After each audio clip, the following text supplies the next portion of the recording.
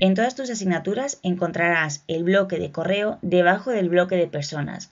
Si no existiera, puedes agregarlo pinchando en Activar edición y agregar un bloque. Si tuvieras correo no leído, aparecería un aviso en el bloque de correo de la página de tu asignatura.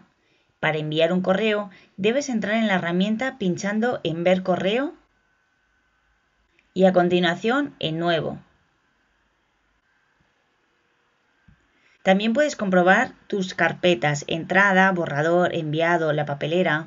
En las preferencias puedes configurar el correo para que también te llegue una copia a tu cuenta de correo institucional.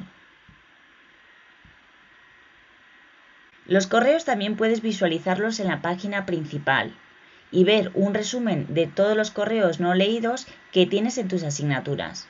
La diferencia con la mensajería es que el correo es una herramienta externa a Moodle que permite establecer contacto con los usuarios que estén dentro de tu asignatura y adjuntar archivos, mientras que en la mensajería puedes enviar mensajes a cualquier usuario de Moodle, pero los mensajes no se clasifican por asignatura ni se pueden adjuntar documentos.